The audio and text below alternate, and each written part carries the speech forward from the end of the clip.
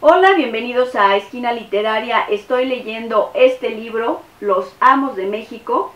Espero que te esté gustando. Esta ya es la séptima y última parte.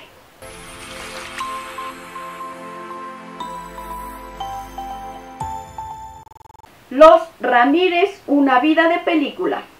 Un hombre está recostado en una cama. Se encuentra boca arriba con la cabeza hacia el televisor. Tiene la mano izquierda extendida y la derecha cerca de la ingle. Junto a él, un revólver calibre 38 especial. Su cuerpo sangra. Tiene cinco heridas de bala. La recámara está en orden y no se distinguen señales de forcejeo. El hombre de 79 años está vivo. La esposa y dos sirvientas son las primeras en encontrar a la víctima y se levanta un velo de confusión. El célebre productor de cine y televisión Jerry Bruckheimer recuerda la idea que un día llegó a venderle al escritor Anthony Zwicker. Entras en una habitación y encuentras una mujer sin vida, una maceta rota en el suelo y un elefante rosa en el jardín. ¿Qué fue lo que sucedió? Así nació la serie CSI, quizá la más vista en los años recientes, con una audiencia global de 2 mil millones de espectadores y cuyas historias de investigación forense se desarrollan en tres de las ciudades más fotogénicas de Estados Unidos, Las Vegas, Nueva York y Miami. Pero estamos en Morelia, Michoacán.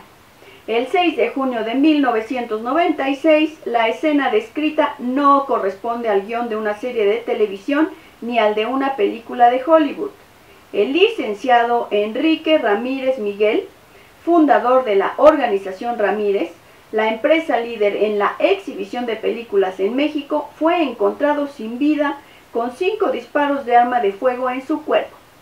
En los medios se divulga un comunicado de prensa de la familia con una versión distinta. El empresario se lesionó accidentalmente de un tiro cuando limpiaba una pistola por lo cual fue trasladado con vida al Hospital Memorial, donde falleció al filo de las 13.30 horas. Originario de Encarnación de Díaz, Jalisco, Enrique Ramírez Miguel se inició en el negocio de la cinematografía en 1956. El 28 de septiembre de 1971 fundó Organización Ramírez con la inauguración del Cinema Morelia, actualmente convertido en Cinépolis Morelia Centro. Dos semanas después, el 12 de octubre, abrió en la Ciudad de México el Cinema La Raza. Cuando él murió, Organización Ramírez se presentaba como la empresa líder en su ramo en América Latina, al poseer 435 salas en México, con una asistencia anual de 50 millones de personas.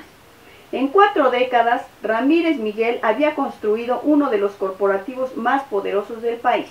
Fungía como presidente del Consejo de Administración de al menos 25 empresas en Michoacán, Jalisco, Tamaulipas y San Luis Potosí.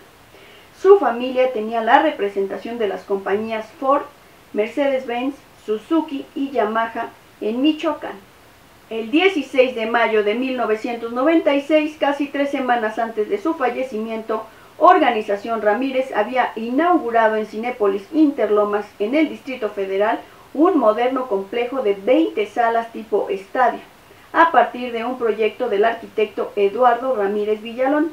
La Procuraduría de Justicia de Michoacán, en un comunicado de prensa, dijo, se practicó la necropsia al cuerpo del señor Enrique Ramírez Miguel, en la que se determinó que la causa de su fallecimiento se había producido por la penetración de uno de los cinco proyectiles de arma de fuego que le afectó el vaso, el hígado y el colon.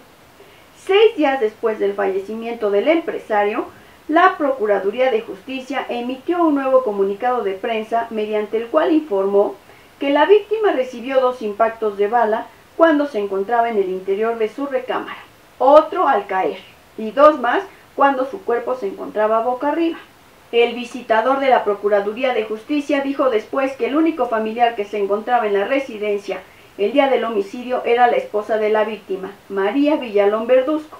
El empresario fue asesinado a quemarropa, le dispararon a una distancia de entre 5 y 20 centímetros, según el funcionario.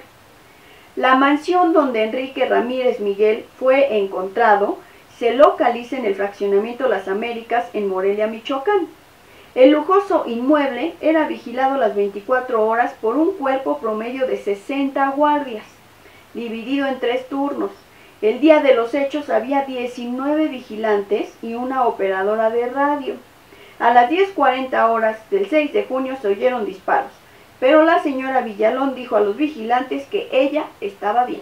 Después de 15 o 20 minutos de haberse escuchado los disparos, la señora María Villalón llamó a las sirvientas para preguntarles si el señor Ramírez Miguel sangraba. Se dirigieron a la recámara del señor, descubriéndolo que efectivamente sangraba, por lo que le dieron aviso al cuerpo de seguridad. Su cuerpo estaba semidesnudo y se le apreciaban moretones en el cuello. Las autoridades consideraron que pudo haber forcejeado con su agresor. De acuerdo con el expediente de la averiguación previa, la última persona que vio con vida al empresario fue su hijo Eduardo Florentino, quien lo visitó entre las 10.30 y las 10.45. Después de que ocurrió la agresión, alguna persona ajena a la autoridad recogió el arma homicida con un pañuelo desechable para depositarlo sobre un portafolio. Sin embargo, parte de una huella quedó impresa en el arma y sí es factible reconocer a quién corresponde. En el momento de los hechos, la mayor parte del personal de servicio se encontraba fuera de la residencia. En el expediente se afirma, dos sirvientas fueron enviadas por la señora María Villalón a comprar blusas. Su chofer salió al banco y a las oficinas centrales de la organización Ramírez, mientras que a las dos sirvientas que quedaron en el interior se les ordenó que buscaran un contacto electrónico en el cuarto de servicio. Su cuerpo fue cremado el mismo día. La esposa y uno de los cuatro hijos del empresario se convirtieron en los principales sospechosos del Ministerio Público del Estado de Michoacán. En el expediente consignado ante el juez penal del Fuero Común, el Ministerio Público utilizó como prueba el supuesto testimonio del chofer Antonio II Escobedo, quien presuntamente habría dicho que la señora Villalón Verduzco se expresaba mal de su marido, incluso que sentía odio hacia él. Meses más tarde, María Teresa Núñez Sánchez dijo a los visitadores de la Comisión Nacional de Derechos Humanos que su esposo Antonio II Escobedo jamás habló mal de su ex patrona por quien sentía respeto y admiración. Antonio II Escobedo, chofer del señor Ramírez, el 14 de mayo de 1997, al cruzar sin precaución la carretera, fue atropellado por una camioneta. En ese accidente perdió la vida el principal testigo de la fiscalía. El martes 14 de abril de 1994 nació la marca Cinépolis, creada por el ingeniero Enrique Ramírez Villalón. A partir de la muerte de su padre, la familia Ramírez comenzó a trabajar en la reconstrucción de su imagen pública y a reformular los planes de crecimiento de sus empresas. En unos cuantos meses inauguró la Escuela Primaria Federal Enrique Ramírez Miguel, destinada a la educación de más de 300 niños de escasos recursos que habitan en la colonia popular Unión Progreso, donde también se construyó el Jardín de Niños Enrique Ramírez Miguel. Las dos obras fueron financiadas por la familia Ramírez. Las actividades filantrópicas son diversas, incluyen la contratación de jóvenes con capacidades especiales y colaboraciones con Héroes Anónimos, el programa Lazos, Naturalia AC, UNICEF, Gente Nueva, Un Kilo de Ayuda, Tu Ayuda Si Cuenta, entre otros. En 2008, Cinépolis inició la campaña de carácter social, Del amor nace la vista. La familia Ramírez ha jugado un papel protagónico en un deporte que hasta hace pocos años prácticamente pasaba inadvertido entre los medios, el golf. En diversas ocasiones, la golfista tapatía Lorena Ochoa expresó múltiples elogios a la familia Ramírez y al gobernador Lázaro Cárdenas Batel cuando se cumplieron seis años del aniversario luctuoso de Enrique Ramírez Miguel, la Procuraduría General de Justicia del Estado de Michoacán, ahora bajo el gobierno de Lázaro Cárdenas Batel, informó sobre la destrucción de las pruebas relacionadas con el expediente y declaró el caso cerrado. Espero que te hayan gustado las lecturas de este libro, Los Amos de México, y te recuerdo que la próxima semana leeré este libro, Los 12 mexicanos más pobres.